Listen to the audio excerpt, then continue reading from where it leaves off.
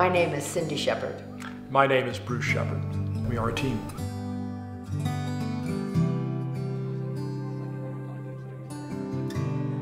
We're working in conjunction with each other of making sure that um, the ideas that we have that are important um, yeah. are, are we're working on together.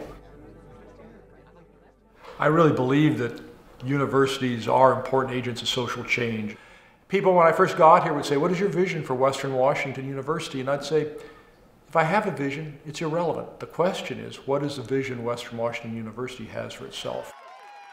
The program that I run on campus, which is Compass to Campus, has to be a collaboration between many people, and it never, never would have been successful had we not had the collaborative effort with the professors on campus, the staff on campus, the students on campus, and then hundreds of teachers, all the superintendents, all the principals that we work with. We're all collaborating on this effort to make sure that our underrepresented uh, students are getting a push and an idea that this is an opportunity that they can have for themselves. One of the things that we're both trying to do, and especially in my program, trying to make sure that our classrooms and the places on campus where students are are becoming safer for them and places where they can talk about these issues. Uh, the climate on this campus as regards women, uh, LGBT colleagues, uh, racial and ethnic minorities is about average, which is not good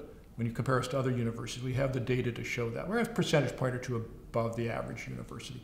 But that's not good enough. How do we really be a leader in this area where our climate is what we can all be proud of?